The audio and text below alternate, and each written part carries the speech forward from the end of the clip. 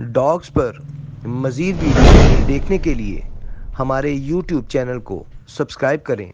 और bell icon पर click करना ना भूलें शुक्रिया